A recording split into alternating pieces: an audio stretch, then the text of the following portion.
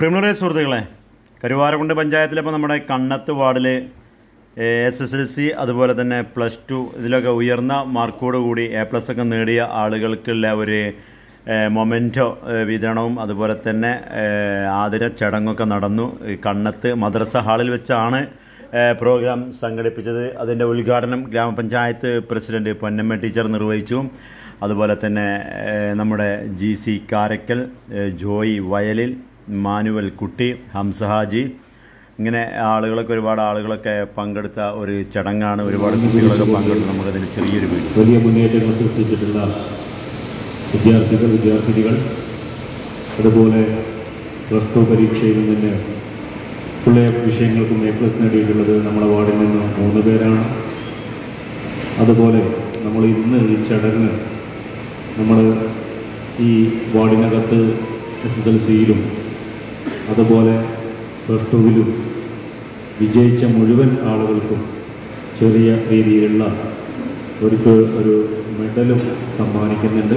അതോടൊപ്പം നമ്മുടെ വാർഡിനകത്ത് പഠിക്കാൻ നല്ല രീതിയിൽ താല്പര്യമുള്ള കുറച്ച് കുട്ടികളെ തിരഞ്ഞെടുത്ത് ആ കുട്ടികൾക്ക് നമ്മൾ കുറച്ച് നോട്ട് ബുക്കുകൾ കൊടുക്കുന്നുണ്ട്. അപ്പോൾ അങ്ങനത്തെ ഒരു ചടങ്ങാണ് ഇവിടെ നടക്കുന്നത്. ഇതിൽ തീർച്ചയായിട്ടും നമ്മുടെ നാടിന് അതേപോലെ തന്നെ ഏറ്റവും സുപ്രധാനമായിട്ടുള്ളത് നമ്മുടെ സ്കോളർഷിപ്പ് നേടിയിട്ടുള്ള ഒരു കുട്ടിയും നമ്മുടെ ഈ കൂട്ടത്തിലുണ്ട്. അവരൊക്കെ ഈ ഒരു ചടങ്ങിന്റെ ഭാഗമാവുകയാണ്. നമുക്കറിയാം നമ്മുടെ വാർഡിൽ ഇതുപോലുള്ള ഒരുപാട് ഇപ്പോൾ നമ്മൾ കഴിഞ്ഞ ഒരു ഒരു മാസം മുൻപാണ് നമ്മുടെ വാർഡിന്റെ ഒരു ആഘോഷമായി കണ്ണത്ത് ഉത്സവം എന്ന പേരിൽ നമ്മുടെ എല്ലാ വിഭാഗം ആളുകളും ഒന്നിച്ചിരുന്ന് വലിയ സന്തോഷത്തിന് ഇവിടെ എത്താൻ പറ്റിയത് തീർച്ചയായിട്ടും ഞാൻ അഭിനന്ദിക്കുകയാണ് ഇത് സംഘടിപ്പിച്ച ബഹുമാനം. ഞാൻ എന്റെ ഒരു ജീവിതത്തിലേക്കൊന്ന് തിരിഞ്ഞു നോക്കുകയാണ്. നമുക്ക് കിട്ടുന്ന ഓരോ അംഗീകാരങ്ങളും അത് എത്രത്തോളം നമുക്ക് ആവേശം തരുന്നുണ്ട് നമ്മുടെ മനസ്സിനെ അത് ഉറപ്പിച്ച് ഒരു ആവേശമായിട്ട് മാറുന്നുണ്ടെന്നുള്ളതിന്റെ ഒരു ചെറിയ ഒരു ഒരു ഉദാഹരണം എന്നെ സംബന്ധിച്ചുള്ള ഒരു കാര്യമാണ്. പത്താം ക്ലാസ്സിൽ എനിക്ക് വലിയ മാർക്കൊന്നും ഉണ്ടായിരുന്നില്ല. കഷ്ടിച്ച് ജയിച്ചു ജയിക്കുകയാണ് ചെയ്തത് ആദ്യത്തെ പ്രാവശ്യം പൂർണമായിട്ടും വിജയിച്ചില്ല. ഒരു വിഷയത്തിൽ തോറ്റുപോയി. അന്നൊക്കെ നമുക്ക് ആ വിഷയം മാത്രം എഴുതിയെടുക്കാനുള്ള ഒരു സംവിധാനം ഉണ്ടായിരുന്നതുകൊണ്ട് ആ വിഷയം രണ്ടാമത് മൂന്ന് മാസം കഴിഞ്ഞ് സേപരീക്ഷ വന്നപ്പോൾ അത് എഴുതിയെടുത്തു. അതിനുശേഷം ഞാനിങ്ങനെ എന്റെ മനസ്സിലെ ഒരു തീരുമാനമെടുത്തു. നമ്മളങ്ങനെ പുറകോട്ട് പോകേണ്ട ആളൊന്നുമല്ല. നമ്മൾ എന്ത് എന്തിനു വേണ്ടിയിട്ട് നമ്മൾ പുറകോട്ട് പോകണം? മറ്റുള്ള കുട്ടികൾക്കൊക്കെ നമ്മളെക്കാളും മുന്നിൽ നിന്ന് മാർക്ക് വാങ്ങിക്കാൻ പറ്റുമെങ്കിൽ നമുക്ക് എന്തുകൊണ്ടായിക്കൂടാ? അങ്ങനെ ഒരു വാശി മനസ്സിൽ കയറിയിട്ട്. അന്നൊക്കെ ഈ എസ് എൽ സി കഴിഞ്ഞാൽ അടുത്ത ഒരു എഴുപത്തഞ്ച് എഴുപത്തി ആറ് കാലഘട്ടമാണ്. അടുത്ത സ്റ്റെപ്പ് ഒന്നുകിൽ പി ഡിഗ്രിക്ക് പോകാം അല്ലെങ്കിൽ ടൈപ്പ് റൈറ്റിംഗ് ഷോർട്ട് ഹാൻഡ് പഠിച്ച് ഏതെങ്കിലും ജോലിയിലേക്ക് തിരിയാം.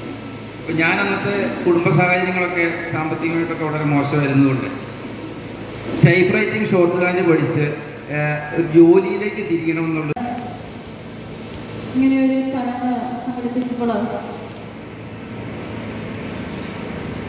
ലക്ഷം വൈകിയെന്ന് ആ, തോന്നുന്നു. കാരണം റിസൾട്ടൊക്കെ ഇറങ്ങി ഞാൻ പറയാൻ പോകുന്ന കാര്യമായിട്ട് കമ്പയർ ചെയ്യുന്നത് കൊണ്ടാണ് വൈകിയോ എന്ന് പറയും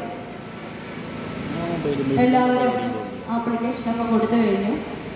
ഫുൾ എ പ്ലസ് കിട്ടിയവരുണ്ട്. ജയിച്ചവരുണ്ട്.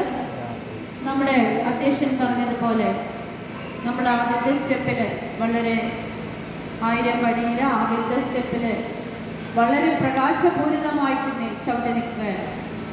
ഇനി ആ വെളിച്ചം മതി. നമ്മൾക്ക് മുകളിലുള്ള ബാക്കി പടികളിൽ ചവിട്ടിക്കരുത് പക്ഷെ ഓരോ പടിയിലോട്ടും നമ്മൾ കാലെടുത്ത് വെക്കുമ്പോൾ കാൽ ഉറപ്പിച്ച് വെക്കണം. വേണ്ടേ കാൽ വെറുതെ ഇങ്ങനെ ഞങ്ങളുടെ കയ്യിൽ വെട്ടോ വെളിച്ചമൊക്കെ ഉണ്ടെന്ന് ചോദിച്ചാൽ പറഞ്ഞിട്ടുണ്ട് ഞങ്ങളൊക്കെ കയറി പോകാന്ന് പറഞ്ഞ് പോയാലേ നമ്മളങ്ങ് എത്തിക്കും. ആ വെളിച്ചത്തിന് കട്ട് പോകാതെ കാറ്റൊക്കെ അടിച്ച് കഴിഞ്ഞാൽ വെളിച്ചം കെട്ടുപോകില്ലേ അങ്ങനെ കെടാതെ അത് കെടാതെ തന്നെ വേണം നമ്മൾക്ക് മുകളിലോട്ട് പോകാൻ. പ്രിയപ്പെട്ട വിദ്യാർത്ഥികളെ എനിക്ക് നിങ്ങളോട് ചോദിക്കാനുള്ളത് നിങ്ങൾ ഫുൾ എ പ്ലസ് ഒക്കെ വാങ്ങിയിരിക്കുന്നവരല്ലേ? വളരെ സന്തോഷമുള്ളവരല്ലേ? നിങ്ങളെ ഇതിന് പ്രാപ്തരാക്കിയ നിങ്ങളുടെ രക്ഷിതാക്കളുടെ സന്തോഷമാണ് ഇതിൽ ഏറ്റവും വലുത്. അങ്ങനെ അവർക്ക് അല്ലെങ്കിൽ ഞാൻ എന്റെ പ്രായമുള്ളവരായിരിക്കില്ല അതിലും പ്രായം കുറഞ്ഞവരായിരിക്കും നിങ്ങളുടെ രക്ഷിതാക്കൾ. അവർക്ക് ഫുൾ എ പ്ലസ് കിട്ടിയില്ല. എന്റെ മകൾക്കത് സാധിച്ചു എന്നുള്ളത് അവരെ സംബന്ധിച്ചിടത്തോളം ഏറ്റവും വലിയ അഭിമാനകരമായ നിമിഷമാണ്. അത് സമ്മാനിച്ച നിങ്ങളെ ഞാൻ പ്രത്യേകം പ്രത്യേകം അഭിനന്ദിക്കുകയാണ്. ഇനി നമ്മൾ പൊതുവെ കേൾക്കുന്ന ഒരു സംസാരമുണ്ട്. നിനക്ക് ഫുൾ എ പ്ലസ് ഇല്ലേ? ഉണ്ട്. നീ ഒരു കാര്യം ചെയ്യും. എൻട്രൻസിന് വെക്കോ. നിന്നെ കൊണ്ട് പറ്റും. ആ നിനക്ക് ഫുൾ എ പ്ലസ് ഇല്ലേ? നീ എഞ്ചിനീയറിംഗിൽ പൊക്കോ. ഇപ്പോഴേ കോച്ചിങ്ങിന് വെക്കോ? രണ്ട് വർഷം കൊണ്ട് സാധിക്കും നമ്മുടെ കുടുംബക്കാരുമായും നമ്മുടെ ഫ്രണ്ട്സ് നമ്മുടെ നാട്ടുകാർ പറയും. പക്ഷേ നിങ്ങളെ കൊണ്ട് പറ്റുക എന്നുള്ളത് നിങ്ങൾക്ക് മാത്രമേ അറിയാൻ പറ്റുള്ളൂ ഈ പത്ത് വിഷയങ്ങൾ പരീക്ഷ എഴുതി ഫുൾ എ പ്ലസ് വാങ്ങിയതിന്റെ ബുദ്ധിമുട്ട് ഒന്നാം ക്ലാസ് പഠിക്കുന്ന കുട്ടികൾക്ക് ഒന്നാം ക്ലാസ് ബുദ്ധിമുട്ട് തന്നെയാണ് ഒന്നാം ക്ലാസ്സിലെ കുട്ടി രണ്ടാം ക്ലാസ്സിൽ എത്തുമ്പോൾ പറയാം ഒന്നാം ക്ലാസ് ഒരു പ്രയാസവും ഇല്ലായിരുന്നു ജയിക്കാൻ പത്താം ക്ലാസ് പാസ്സായി കഴിഞ്ഞപ്പോൾ എ പ്ലസ് കിട്ടിയപ്പോൾ നിങ്ങൾക്ക് തോന്നുന്നുണ്ട് ഇവിടെ ഒരു പ്രയാസവും ഇല്ലായിരുന്നു ഇത്രയൊക്കെ ഉള്ളൂ ഈ പബ്ലിക് എക്സാം എന്നല്ലേ? അപ്പൊ നിങ്ങൾക്ക് അതിനുള്ള കപ്പാസിറ്റി കിട്ടിയത് കൊണ്ടാണ് പത്താം ക്ലാസ്സിൽ പഠിച്ച വിഷയങ്ങൾക്ക് നല്ല അറിവുകൾ നിങ്ങളുടെ കയ്യിൽ വന്നതുകൊണ്ടാണ് നിങ്ങൾക്ക് അങ്ങനെ ചിന്തകൾ ബുദ്ധിപരമായ ഒരുപാട് മറ്റാരും നടക്കാത്ത നീക്കങ്ങളുടെ സൃഷ്ടാവായ നമ്മുടെ വിമാൻ നമ്മുടെ വിലയുണ്ട് അദ്ദേഹമാണ് ഈ പരിപാടിക്കും നിങ്ങൾക്ക് ഈ ആദരവിന് വേണ്ടിയിട്ടുള്ള ഇവിടെ ഞാൻ നിങ്ങളോട് ചോദിച്ചു ഈ ഭൂമിയിലേക്ക് നിങ്ങൾ വരുന്നതിന് മുമ്പ് ഈ ഭൂമിയിലേക്ക് നിങ്ങൾ ജനിക്കുന്നതിന് മുമ്പ്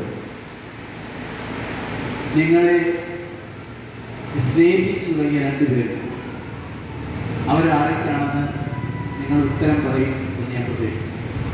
ആരൊക്കെയാണ്? ഭൂമിയിലേക്ക് നിങ്ങൾ ജനിക്കുന്നതിന് മുമ്പ് നിങ്ങളെ സ്നേഹിക്കാൻ തുടങ്ങിയ രണ്ട് വ്യക്തികൾ ആരൊക്കെ ആരൊക്കെയാണ്? ഒരു ഉത്തരം പറയും ഞാൻ പൊന്നമടീശ്വരൻ ഞാൻ കരുവാരൂർ ഗവൺമെന്റ് ഹൈസ്കൂളിൽ ഒന്നിച്ച് കണക്കിന്റെ മാതൃക വിജയ അറിയാവുന്ന ആളാണ് പഠിപ്പിച്ചത് ഞാൻ പ്രൈവറ്റ് സ്കൂൾ ടീച്ചർമാർ നമുക്ക് ധാരാളം നിങ്ങളുടെ അമ്മയും പാപ്പയും ഒക്കെ ഞങ്ങളുടെ ശിഷ്യന്മാരൊക്കെയാണ് അപ്പോഴാണ് ചോദ്യം ചോദിക്കുന്നത്. ആരാണ് നിങ്ങൾ ഈ ഭൂമിയിൽ ജനിക്കുന്നതിന് മുമ്പ് നിങ്ങളെ സ്നേഹിക്കാൻ വേണ്ടി രണ്ട് വ്യക്തികൾ ഈ സമയങ്ങളല്ല നമുക്ക് നിങ്ങളെ ഉമ്മയും ബാബയും അച്ഛനും അമ്മയും. അവരാണ് നിങ്ങളെ ഈ ജനിച്ച് നിങ്ങളെ രൂപത്തിൽ മറ്റുള്ളവർ ലാളിക്കാൻ എടുക്കുന്നതിന് മുമ്പ് രണ്ട് വ്യക്തികൾ നിങ്ങളെ സ്നേഹിച്ചത് സ്പർശിച്ചത് നിങ്ങളുടെ നിങ്ങളെ നിങ്ങളെക്കുറിച്ച് സ്വപ്നം കണ്ടത് നമ്മുടെ മാതാപിതാക്കൾ.